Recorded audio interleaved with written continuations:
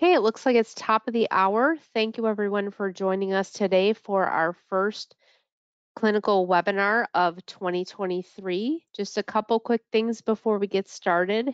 Certificates will be available on Monday by logging into your account and you can submit any questions throughout the webinar using the questions panel and we'll try to get to those at the end. Staci, if you're ready to get started, go right ahead.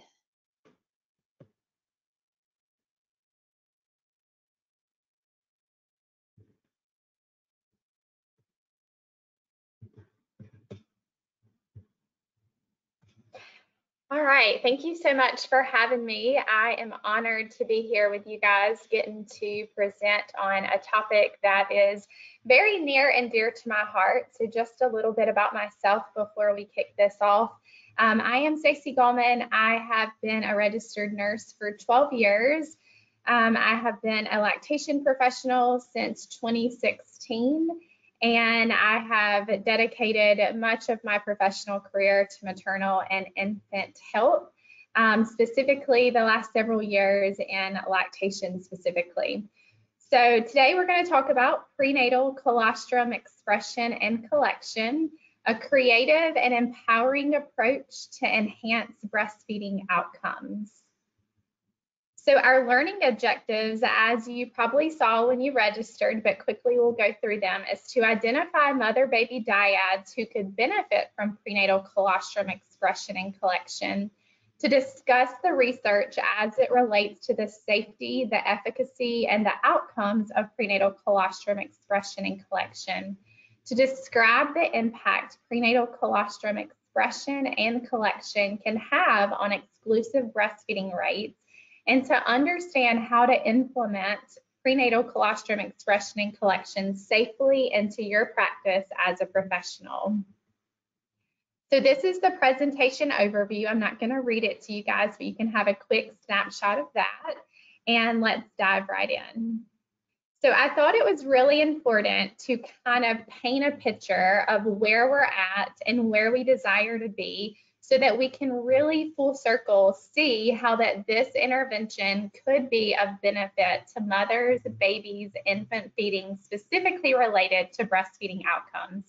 So I tried to gather information from a global perspective because I know that some of you are joining us from different countries, from different um, yes, from different countries. And so we have both the global perspective as well as I am in the United States of America. And so some more targeted numbers specifically for the US.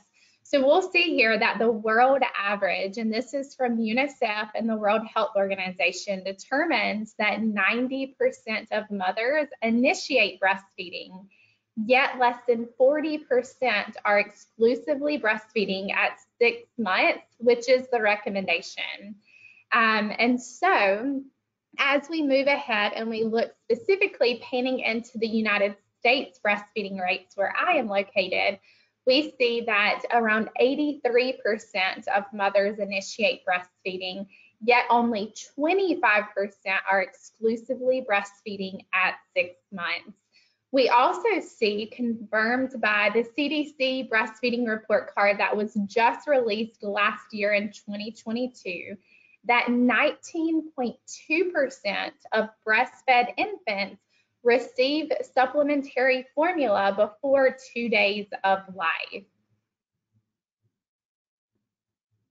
So where we are continued. So first and foremost, before I start talking about um, breast milk substitute, specifically formula, I want to just say and demystify the misconception that sometimes happens with lactation professionals that I do not think formula is a bad thing. I think that formula is a life-saving measure for babies when breast milk is not readily available, but breast milk should be the first choice if available. So with this being said, um, we'll see here on the screen that the World Health Organization and UNICEF released an article um, or a publication that is called How the Marketing of Formula Milk Influences Our Decisions on Infant Feeding.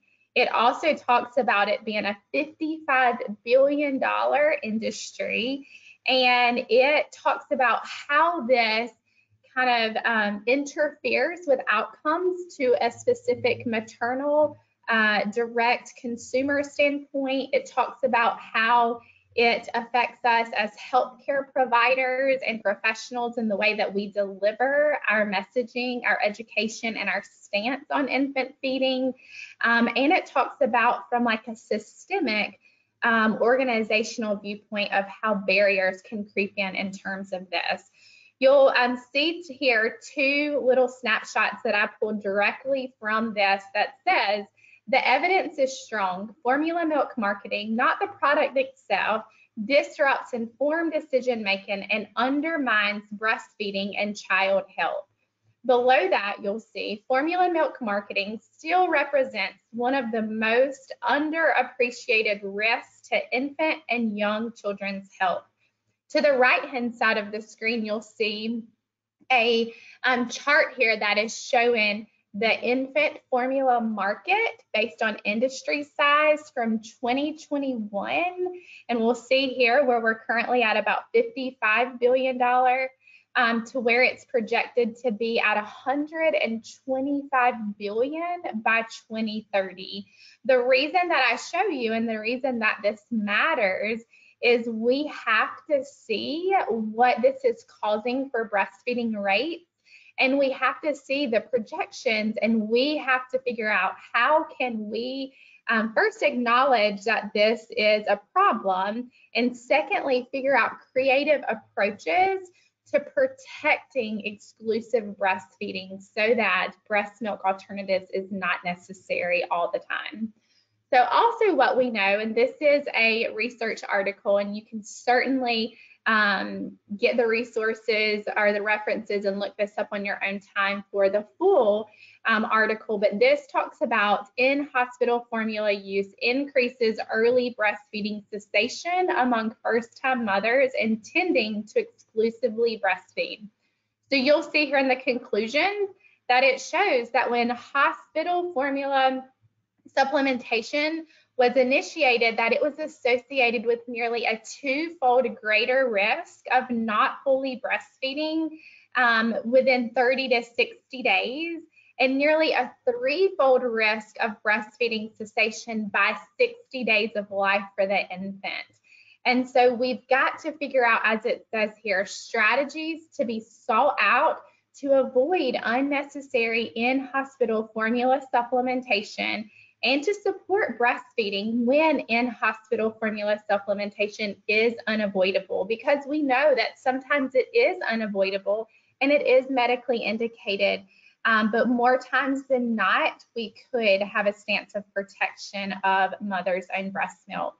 So quickly on this, this is just um, a stance of wanting to encourage us to acknowledge that colostrum is an effective way um, to stabilize blood glucose in infants. So this was an article that was done that talked specifically about prenatal colostrum that was used for supplementation um, in babies. And this was kind of a process change that happened in labor and delivery in the hospital setting and ended with great outcomes. And so I would encourage you to check out this article. Um, but ultimately, what this proved to us was that colostrum is an effective way to stabilize blood glucose levels in infants. We know that sometimes it takes a little bit longer to peak to the desired state for the blood glucose, but once it gets there, it typically will maintain the level um, much better than when formula is used for supplementation for blood glucose stabilization. It's a quick spike, but oftentimes we see that we have multiple issues, kind of like a roller coaster, with the blood sugar not staying stable. So continued, um, I don't think anyone on the call as healthcare professionals would argue that we know this to be true, that the benefits of colostrum are absolutely astronomical. We know that colostrum is the ideal nutrition that is specifically tailored for newborns. Um, we know that colostrum is very different in composition than mature milk and it contains twice as much protein as mature milk, and of course, different factors as well. Um, but we'll see here on this page that we also, I would encourage you to think about that donor milk is typically mature milk in composition. So oftentimes when mothers have a surplus of um, human milk or they have various, you know, experiences that they find themselves donating their human milk to a milk bank for pasteurization, then that's typically once mature milk has um, began. And so we have to acknowledge the difference in colostrum versus donor milk, which is which is typically mature milk. Um, we also know that colostrum is like medicine for our vulnerable preterm babies. And so um, it is very, very amazing for all babies, but specifically our more vulnerable babies. Um, so where do we desire to be? So I did a little timeline here of the current where um, we desire to be in the next couple years and then um, latter part of 2030. And so as you'll see here, we have to figure out ways that we can implement strategies and interventions to effectively enhance breastfeeding rates based on today's reality.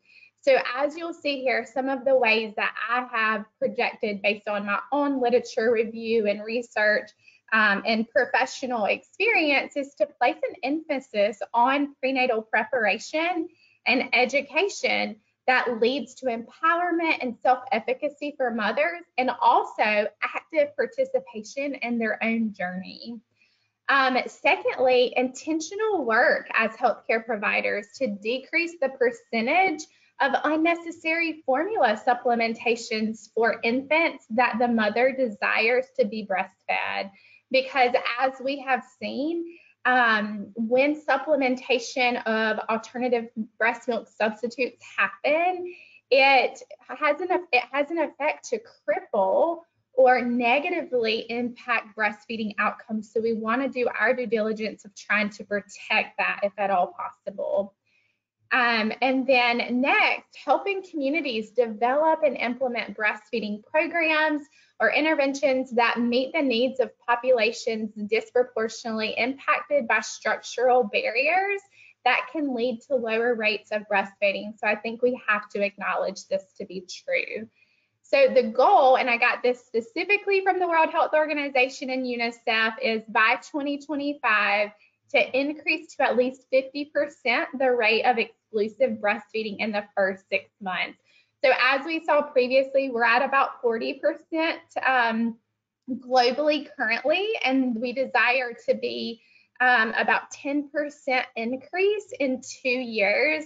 And then as we move further along the timeline by 2030, uh, the desired global prevalence of breastfeeding in 2030 targets, and this is in alignment with a Healthy People 2030, is that the percentage of babies um, under six months who are exclusively breastfed to increase to 70%.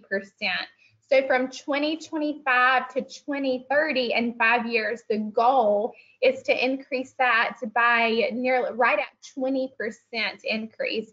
So I think that we have to do our part to acknowledge that um, perhaps we have to uh, address or become more aware of what we're currently doing and perhaps tweak it a bit, do it better, or even get a creative approach in doing something, adopting some new ways to really move the needle to hopefully help us meet those goals, but more importantly, to help mothers and infants and health outcomes.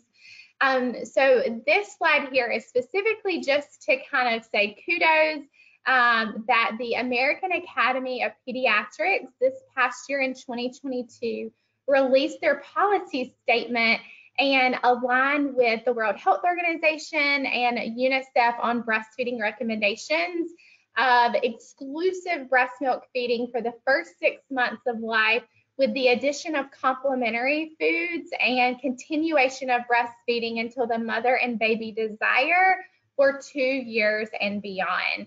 So I think it's just really um, exciting that as large credentialing organizations who, who have the most influence in this space, and as they should, um, we are getting on level playing fields so we can minim minimize kind of the inconsistent messaging that can cause some confusion and distrust, lack of clarity for the mothers and as for us as healthcare providers um, now that we're all really aligned. So why it matters.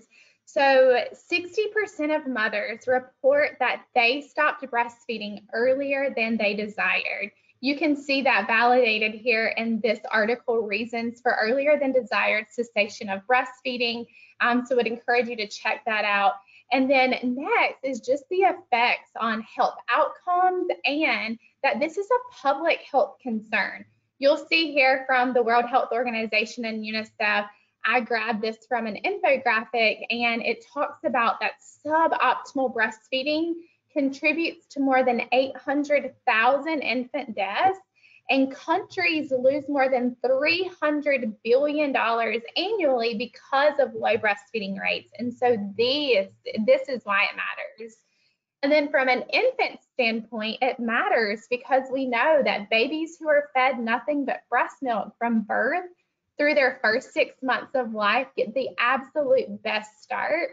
We know that exclusive breastfeeding provides the perfect nutrition um, for babies' healthy growth and their brain development.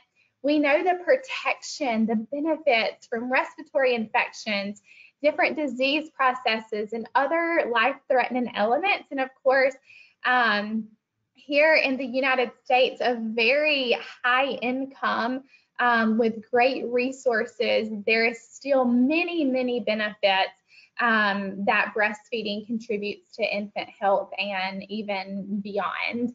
And then protection against obesity and non-communicable diseases such as asthma and diabetes and so forth. And so, um, like I said, this is from the World Health Organization and UNICEF.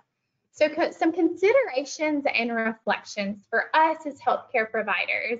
And before I kind of get started on this, I want to first say this is in no way, shape, or form to point fingers or anything of that nature. This is simply a way for us to take ownership that our voice matters more than we know. Um, and for us to just take an internal look at where are we and are there some areas that maybe we need to be more aware of? Maybe we need to increase our confidence or our knowledge um, to truly work towards moving the needle to increase outcomes as it relates to breastfeeding and maternal and infant health. So knowing that our perception, our biases, um, and our advocacy on breastfeeding or lack thereof as the healthcare professionals impact breastfeeding and health outcomes. And also acknowledging that there is inconsistent messaging that happens where one person may not find it as of importance, one person may find it of as, importance, and the way that those personal experiences can um, reflect in some biases and then inconsistent messaging can, as I mentioned earlier, it can cause some confusion for the patient and also unrealistic expectations. Knowing what's normal um, for baby size, for the amount that they need in the first days, um, understanding the pathology and the physiology of lactogenesis and being able to share that with our patients in a very confident manner so that they understand what is normal um, will be so helpful. And so you'll see here in this article, health professionals' attitudes and beliefs about breastfeeding. And ultimately, it just proves exactly what I just mentioned, that our voice matters more than sometimes we realize. So questions to ask ourselves. And of course, this is based on a personal, uh, professional delivery basis, on a system-wide, organizational, and even as a nation and a global um, perspective. So do we feel, do you feel that mothers are receiving adequate and consistent education to make informed decisions regarding infant feeding in the prenatal setting? Are mothers who are at risk for impaired breastfeeding outcomes being assessed, counseled, and made aware by a prenatal professional before birth. If a mother introduces infant formula for supplementation needs during hospitalization, yet intended to breastfeed exclusively, is there a follow-up process for continuation of care and weaning of infant formula? Is breastfeeding medicine and care currently more proactive or reactive in nature? And which do you feel would yield better outcomes and results? So these are just some questions to kind of get us thinking of what does our current reality look like knowing where our goals and where we desire to be because I think we have to acknowledge what current state looks like in order to work towards improving and meeting our goals and helping to improve outcomes. So how can we help? Of course, this list is very minor in a practical sense, but I tried to do my due diligence of um, from all the research I've done to kind of combining to four things. So first, recognize the impact that prenatal preparation has on breastfeeding. And if you don't have a process that allows you to um, you know, assess these moms, identify these moms that might be at risk for breastfeeding difficulties and refer them to a prenatal lactation professional for consultation, then figure out how you could implement that process because that will be very impactful. Secondly, help communities develop and implement breastfeeding programs that meet the needs and it can um, help overcome structural barriers. And so we kind of already talked about that in a previous slide, but that's really, really important. Um, aligning our stance as healthcare professionals to limit the marketing of breast milk substitutes and its usage if it is not indeed medically necessary. We know that sometimes it is, but we need to take ownership of taking that extra step of protection um, of helping the mom to provide her own breast milk if her goal is to exclusively breastfeed if it's not medically indicated.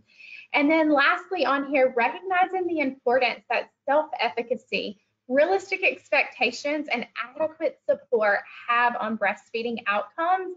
And as I mentioned previously, refer to prenatal lactation providers. The goal is that there is a um, a, a triad where it's the healthcare provider, the lactation professional, and then the family that is working on a plan prenatally with education and preparation um, so that they step into their journey well equipped and educated to meet their goals and to provide the best nutrition for their babies. So this is just an article that um, kind of confirms the um, updates on first week of exclusive breastfeeding among infants greater than 35 weeks. And so ultimately, this is just sharing with us that um, our support as healthcare providers, making sure that we have effective processes in place, that we are limiting structural barriers as much as possible, um, are super impactful for helping to move the needle in a positive way. And then understanding that if um, we don't have those things in place that we need to do our part to start thinking about the implementation of that. So this slide is about awareness and reflection. And so this is an article by Diane Spatz, who is just an absolute hero in the breastfeeding space. And um, I've looked up to a lot as a, as a distant mentor, but she released this article that says changing the prenatal care um, paradigm to improve breastfeeding outcomes. And I think if we're really, really honest with ourselves as professionals, as system levels, as organizational levels, as national levels, and as a global level, that this is what truly has to happen in order for us to expect postpartum outcomes to be more positive and to improve those breastfeeding outcomes. And so I love to ask this question. Um, I ask it a lot in my everyday professional world um, and various other things. So it might feel a little silly, but go with it. So if I could wave a magic wand and an intervention appeared that involved adopting a practice that was linked to empowerment of the mother, self-efficacy, shared decision making, active participation, decreased formula supplementation, and higher exclusive breastfeeding rates, would I listen? Would I be interested? Would I be open-minded about it? And would I share it? So just some reflection. So let's talk about what we're here today to really unpack.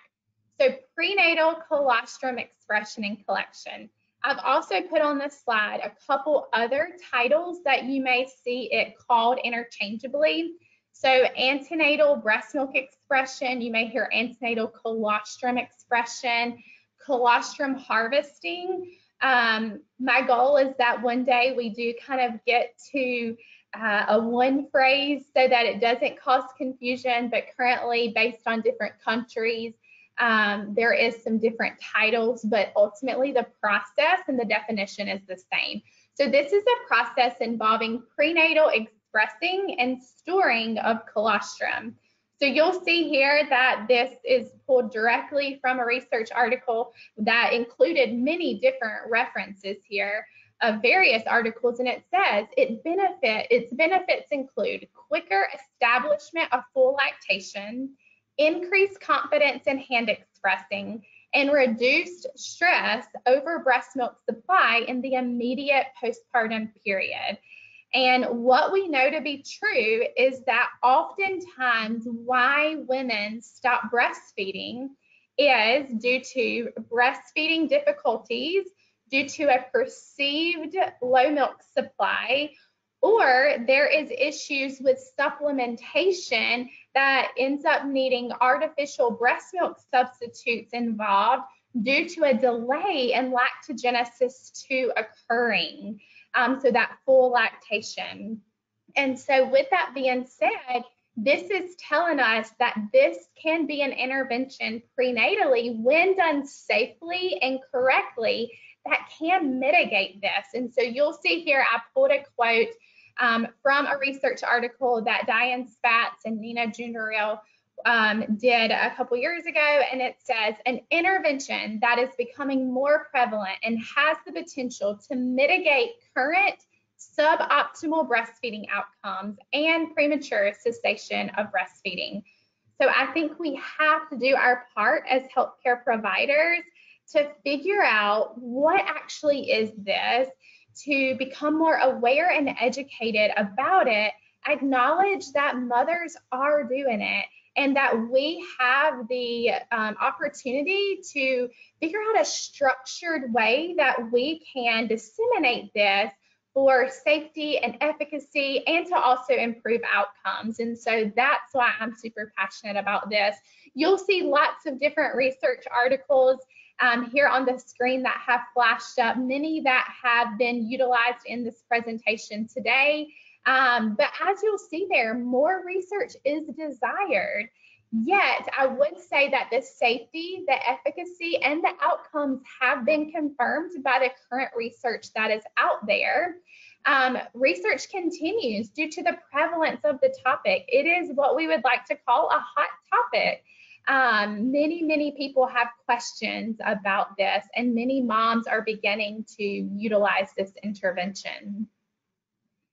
So another article that you'll see here is the effect of antenatal expression of breast milk at term in reducing breastfeeding failures.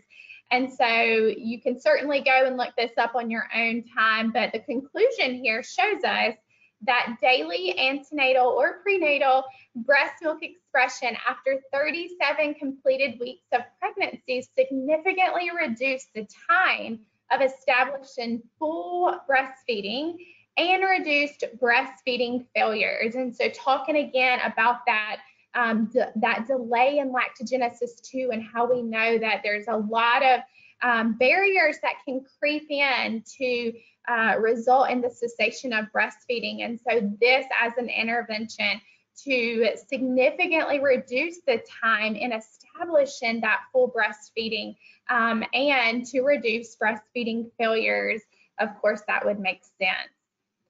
So the more, the most voice concerned by healthcare providers that I hear, and I'm sure you've heard, is will it cause preterm labor? Because of course, that is something that we certainly do not want to happen.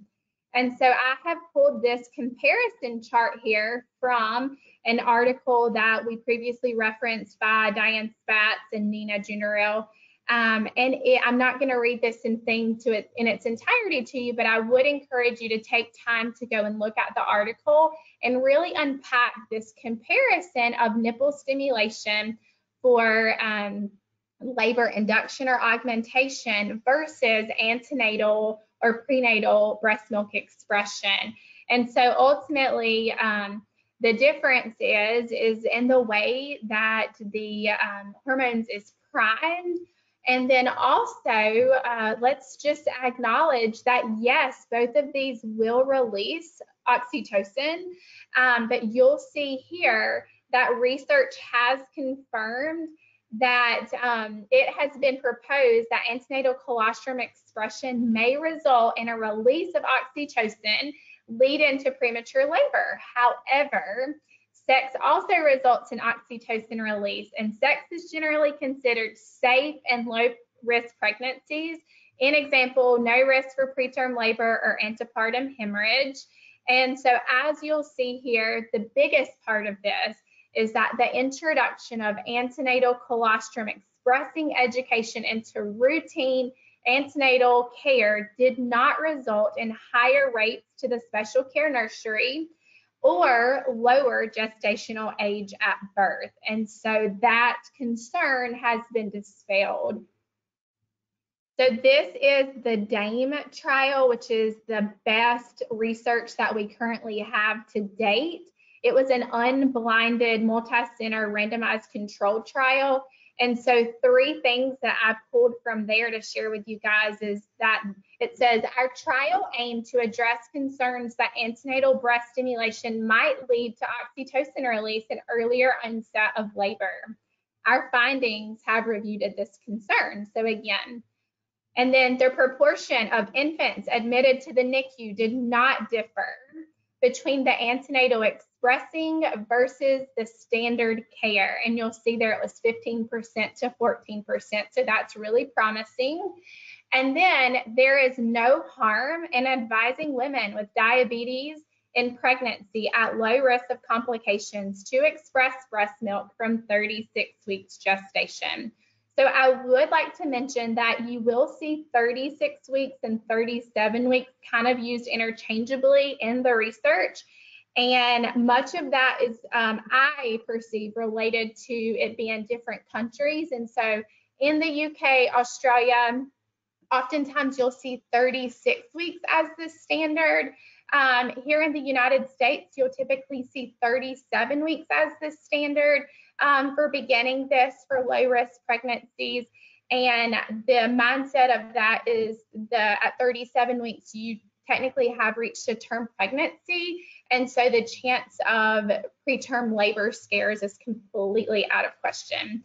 So let's talk about breastfeeding self-efficacy really quickly. So this is the motivation to breastfeed when an expectation of success in meeting breastfeeding goals and the determination to persevere in overcoming breastfeeding challenges.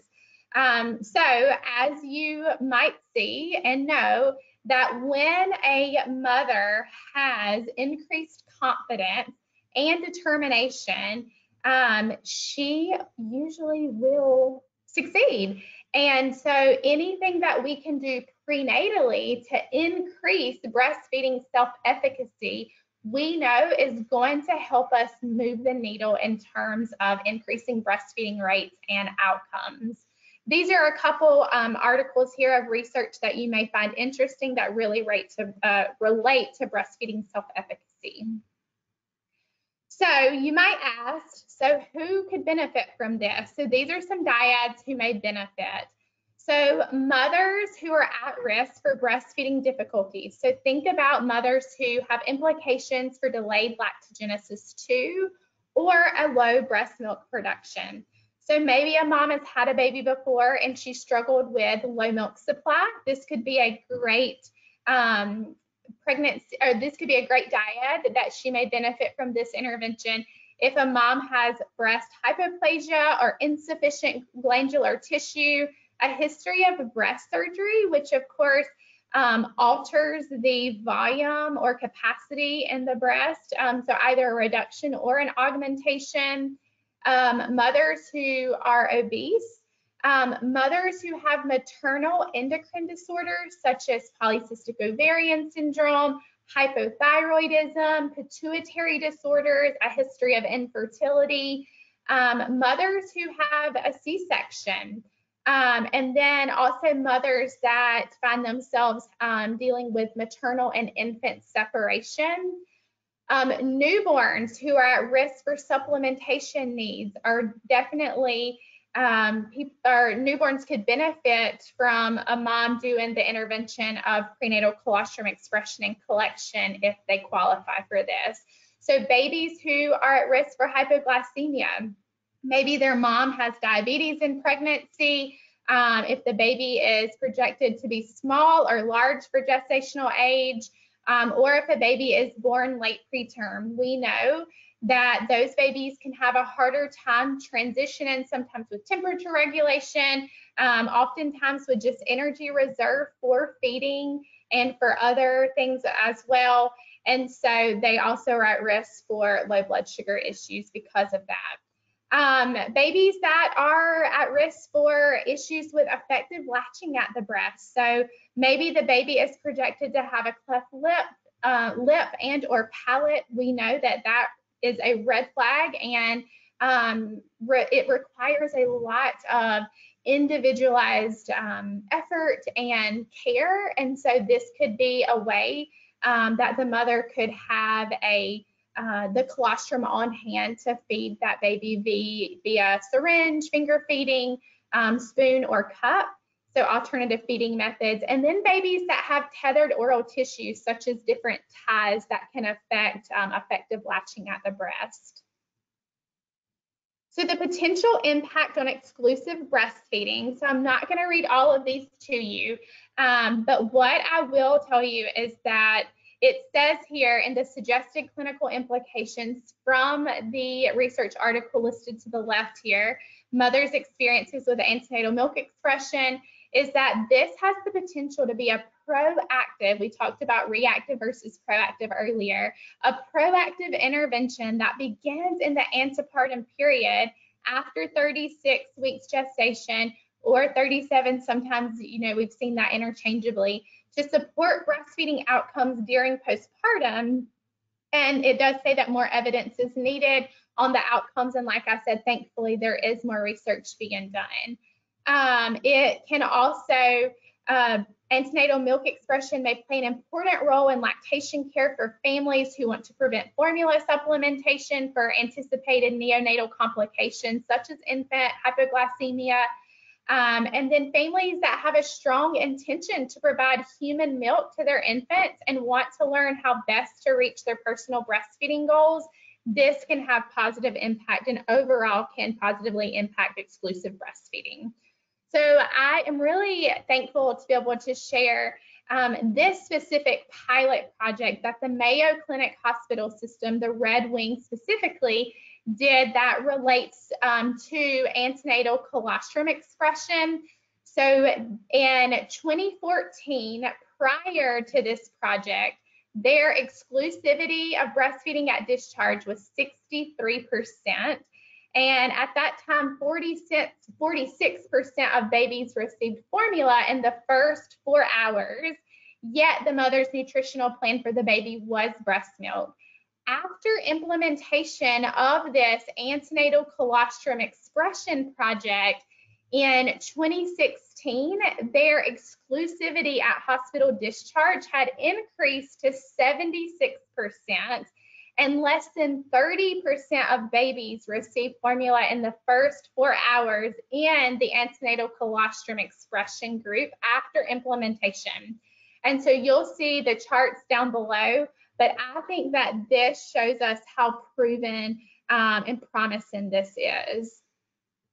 You'll also see that they did a 2016 interim review And this showed that their exclusivity rate for sustainability at two months postpartum had increased from 21% to 55%. That is awesome. You'll also see that mothers reported greater confidence in breastfeeding. And then, thank goodness that there was no adverse maternal or infant outcomes with the um, implementation of adopting this practice for low risk pregnancies. And then in 2018, they reported that their exclusivity at discharge had increased to 81%. This is amazing and so promising. So let's talk about implementation of what this could look like for you on a professional basis, um, whether you are private with a large healthcare organization and so forth.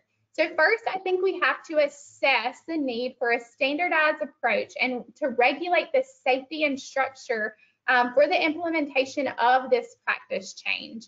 Assess the need for a system-wide education um, on this topic to the healthcare professionals that take care of moms and babies. And then from a practical standpoint, uh, to begin identifying and assessing mother baby dyads at around 28 weeks when they get into that third trimester who may benefit from this type of intervention and refer them to a prenatal lactation professional. Secondly, identifying. So we just talked about identifying the mother baby dyads who could benefit but then identifying a process for prenatal um, consultation referrals for qualifying mothers to receive consistent education and walk through a framework that really helps to disseminate this process.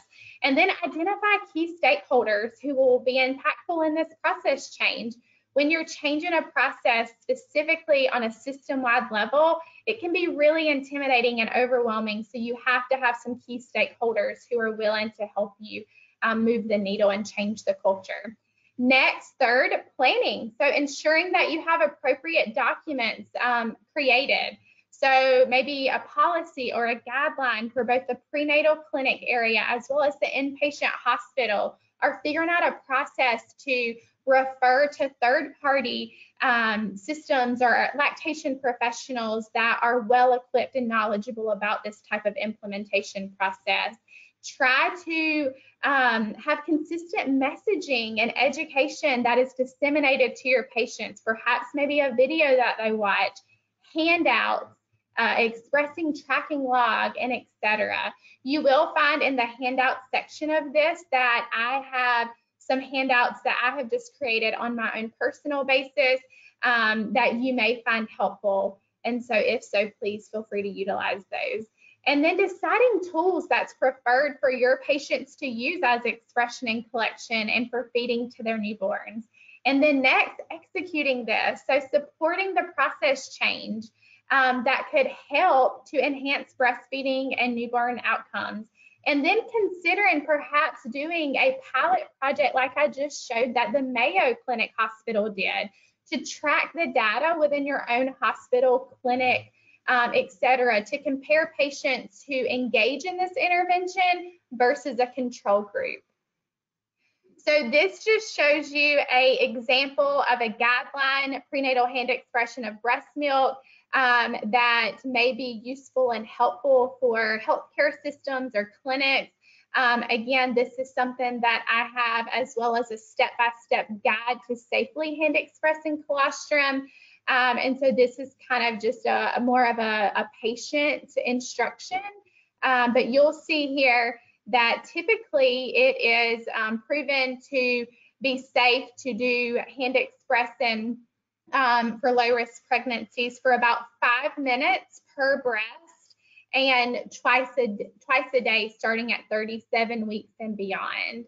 Um, and so I want to end this by bringing it very personal. So I think sometimes we can have all the knowledge in the world, but whenever we hear how this is truly impacting on a personal experience, it can really come full circle. So I want to introduce you to Mercedes. Mercedes is a G2. She delivered her first baby girl at 39 weeks and three days for a scheduled C-section due to gestational diabetes. She delivered her second baby, her son, at 40 weeks and two days. You'll see there she has a history of gestational diabetes um, and macrosomia. And this is what she said about her journey. Colostrum expression prenatally had such a positive impact on my breastfeeding journey even more with my second child after I had learned more about the process. I am so thankful I had prenatal express colostrum on hand because it gave me such confidence when issues with latching occurred right away with my first. With my second pregnancy, I began hand expression right at 37 weeks and did so consistently until I delivered full term and I was thankfully able to accumulate quite a stash of frozen colostrum. I felt that doing prenatal hand expression made my milk come in much sooner, which was amazing and decreased stress in the early days. My second child had to spend time in the NICU due to a concern that I had developed chorio and having the stored colostrum readily available for the nurses to give him if needed made such a positive difference in how I felt as a NICU mom. Prenatal colostrum expression made such a big difference for me and my babies in some of the most important days of my life. I am thankful my babies only received my milk for any supplementation. Let me introduce you to Portia. Portia is a G2 P1. She found herself having a C-section at 40 weeks and four days. Overall, Portia went into labor and birth with really no risk factors for ineffective breastfeeding or needing to really have collected colostrum on hand. This is what she said. I decided to start hand expressing to collect colostrum at 37 weeks in case my son had any initial struggles with latching. It was a huge confidence booster to see that I actually had colostrum and that my body was doing what it, was intended to do. And it was nice to learn hand expression prior to birth. After a couple feeds, my son had a low blood sugar. So we started to give some of the expressed colostrum that I had collected. It was such a huge relief to be able to have that ready for him and not have to rely on formula for his supplementation in the first few days of life.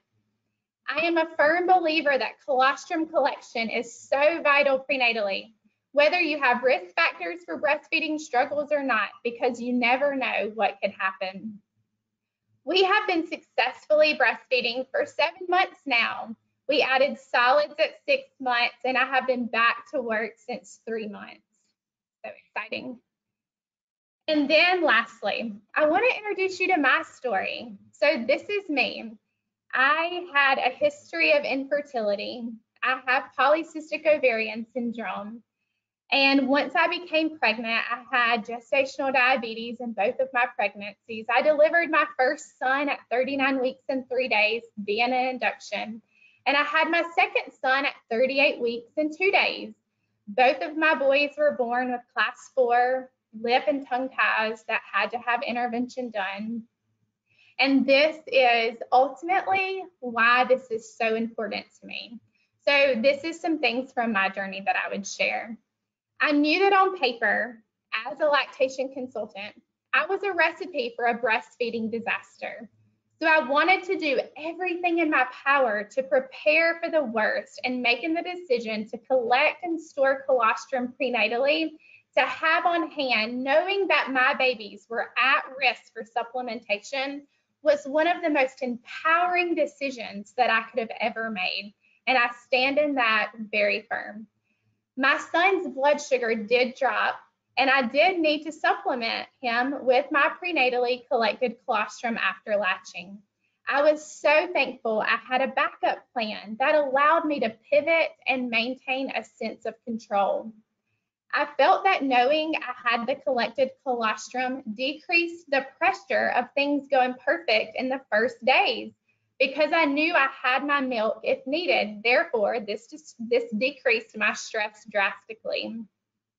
My husband, who you'll see there in the picture to the right, syringe and finger feeding our second son some of my prenatally collected colostrum. Um, he was able to actively participate in our feeding journey also.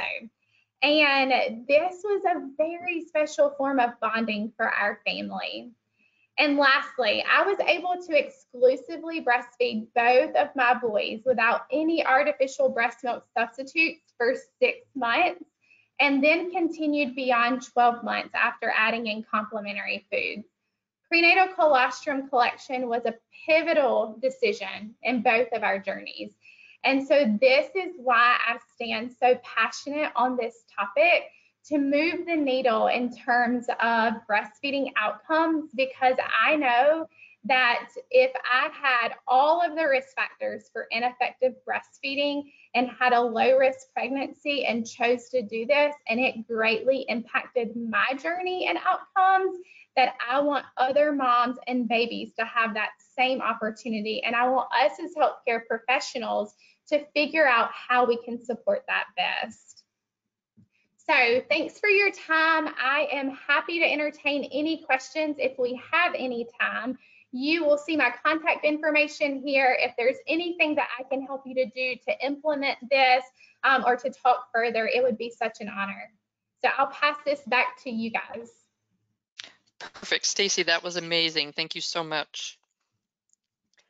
The first question I'll read I am all about colostrum rather than formula for supplementing newborns.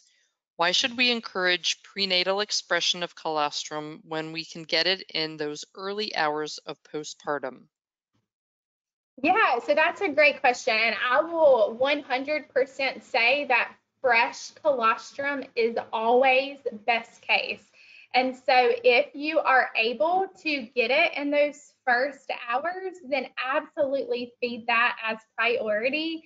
But what I will also say in my professional experience is that sometimes due to um, the laboring process, the birth process, that is not always a possibility. And sometimes mothers, despite great effort, um, with professional help uh, will struggle based on different you know circumstances that could have happened in pregnancy or in birth to get adequate drops in those first hours. Thank you so much. Was the volume of colostrum needed to treat hypoglycemia similar to the volume of formula needed? Yeah, so I'll be really honest with you. I would have to go back and look at the volume amounts in that article because I don't want to answer unknowingly specifically um, the, the, actual numbers. Um, but that's definitely something I'll look into and would encourage you to do the same. Perfect, thank you. Do you know if milk banks take colostrum if a mother is willing to hand express prenatally?